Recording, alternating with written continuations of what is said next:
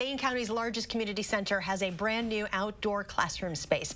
The Goodman Community Center has been hosting full-day childcare and virtual learning assistance since the beginning of the school year. The classroom will provide an opportunity for students to get outside throughout the winter. It'll be used for engaging learning experiences in science, technology, engineering, arts, and math. It really can be used for just about anything we might do indoors, except outdoors.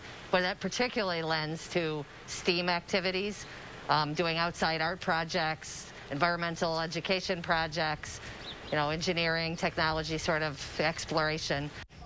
The classroom came together thanks to Vogel Brothers Building Company, which donated supplies and labor, and Eppstein Uhen Architects, which donated the building and design plans.